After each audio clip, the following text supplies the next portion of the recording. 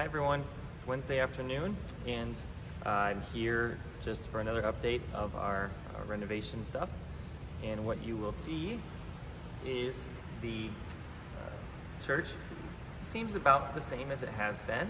You know, we have removed the wainscoting, uh, the wood underneath the windows on either sides, as well as um, from most of the pillars the support beam pillars that are in the back of church um, behind the pews. So that has happened, uh, but a lot of what you um, have been uh, waiting to see hasn't really happened yet because it's just been mostly a lot done behind this wall.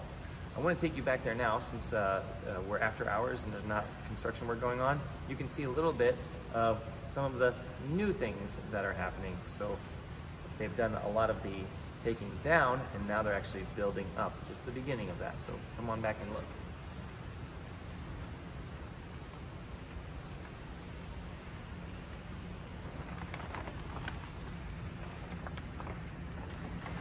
So uh, on the floor, you can see the outline for where the old sanctuary used to go. The first um, steps would have been down there and starting right here up and around. But we've gotten everything out back down to uh, the cement floor, um, including removing all the tile and the carpet and everything, as well as all of the walls that were up here, except the two um, main air handler um, airways uh, and stuff that are there. But what is new is this little part of framing that is in between the two big ducts. So that is the beginning of what the new back wall will be, where the new back wall is going to be. In that location, kind of going straight up.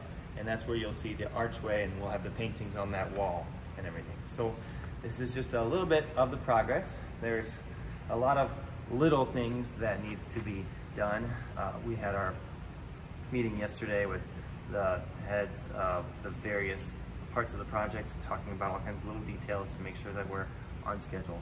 But one bit at a time, while we're making progress, and it's still looking very nice uh, in church for us on the other side of this wall for Sundays. Thanks be to God for that.